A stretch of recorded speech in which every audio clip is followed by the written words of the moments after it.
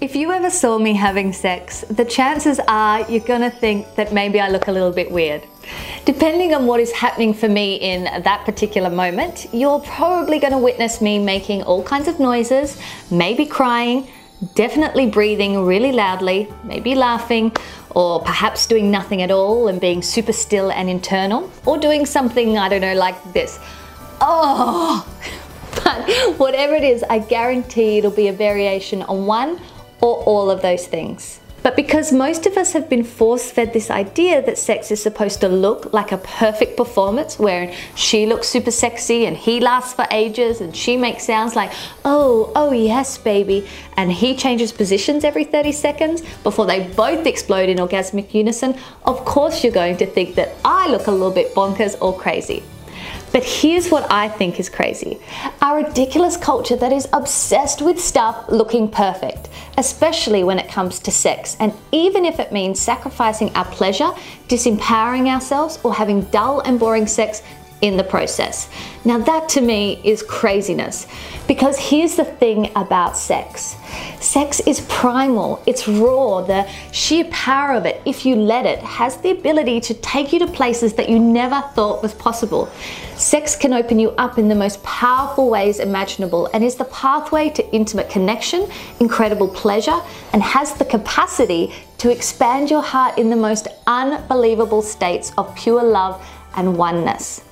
But to access this full potential of our sexual experience, it requires absolute surrender to radical authenticity, to the truth of what's happening in our bodies, and to the full expression of what is showing up for us in that moment. That means no faking it, no holding back tears or emotions, and no controlling what comes out of your mouth. It also requires zero judgment when it comes to breathing, sounding, and expressing fully, which, by the way, are your body based tools to reach ecstasy. Now, if this is all sounding a little bit too much, I get it. For many of us, letting go of control and stepping outside of what we perceive is the correct way to have sex is scary. And so we contain ourselves, we suppress it, we shut it down, and we keep our sexual expression limited to what we think is acceptable, what is safe, or what we believe will be pleasing and attractive to our partner. We stay stuck in our heads whenever our body hits the bed. In this video, I want to encourage you to let go of the show I want it to serve as a call to action so that you can gently move away from the idea of performance based sex, that routine of what you think looks good or what sounds sexy, and instead practice radical authenticity in the bedroom, bringing all of you, including your insecurities, your vulnerabilities, your desires and emotions, and letting them all just be there with you. And from that place, connecting and loving and opening up to your lover so that true intimacy can thrive. And yes, there will be times when you cry or get angry and feel grief or pain because sex is life. Life and sex is the same thing. And when our body has sadness inside of it, it needs to be released. When our body feels anger or pissed off for whatever reason, when we allow ourselves to fully feel it, we can release it, especially during sex. Sex like this becomes medicine for deep healing and transformation. It becomes less about the goal for pleasure and more about an expression of the deepest parts within you. But for that to happen, you need to keep showing up fully, allowing yourself to express everything that's going on for you. So let yourself experience it. Because I see women every day who are not experiencing their full sexual potential, who are just like, meh, sex, yeah. And I truly, truly believe that if you give yourself the permission to have sex in a deeply authentic way, it will revolutionize your sex life. It'll change the way that you think, the way that you feel about your sexuality and that it will take sex from meh to amazing. I promise you. Now, if you're worried that your partner might not enjoy that real, raw, truthful, sensual you, ask yourself this Do you want to be with a person who has to have you behave in a certain way in the bedroom? Who doesn't encourage you to reach your sexual potential or allow you to have truly transformational experiences?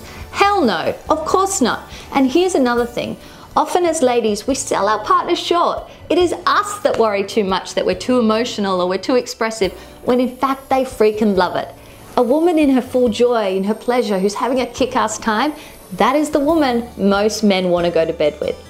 So let's dive into a few tips to help you stay real in the bedroom. Number one, get real alone first. During self pleasure, make a commitment to fully show up for what you're feeling and express it completely. Make sounds, release your emotions, move your body. Just express, express, express. If you feel shy, that's okay. Tell yourself it's okay to be real. Tell yourself you're safe, that no one is judging you. Listen to your body and what she needs. She may want to be very still, she may want to punch a pillow or bite down on the bed covers. Let her do whatever she feels like, no matter what it looks like. It will help to build trust and deepen the connection to your body, and it'll open you up to greater levels of pleasure. Number two, communicate to your lover. Let your lover come along for the ride and communicate beforehand that you're going to be trying out something a little new so they're not taken by surprise. You may like to start off slowly, maybe just breathing a little bit more fully or with a sound on the exhale. You may like to voice your pleasure when things are feeling good or ask to change it up when it isn't. As you begin to feel more safe with your partner, explore sounding even more. Again, communicate beforehand about how you're feeling and how this is going to allow you to unleash yourself completely. How sounding helps you to move pleasure through your body or transform blockages. Also let them know that it's okay if sadness and grief comes up for you during playtime and that it's actually really, really normal thing to experience. Tell them how best that they can support you when emotions like these arise. It may be giving you space or just holding you close or stopping what they're doing. Whatever it is that you need, reassure them that they're not doing anything wrong and it's actually very right. And it's helping you to tap into deeper parts within yourself and have truly transformational sex. Always, always thank them for supporting you. Number three, let go of judgment. Now, this is super, super important. Don't judge what shows up for you. Hold yourself with deep compassion and self acceptance. Let yourself know that every single part of you is welcome and worthy. Allow yourself to feel the emotion without creating a huge story around it. Feel it and then let yourself release it. That goes for movement as well. If you're craving your to unleash your wild inner vixen, do it. If you want softness and stillness, surrender to that as well. Let go of the need for sex to look a certain way and really feel into what you desire. It'll set you free, I promise you.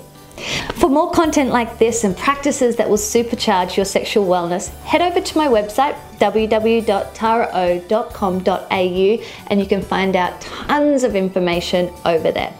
Looking forward to seeing you soon. Bye.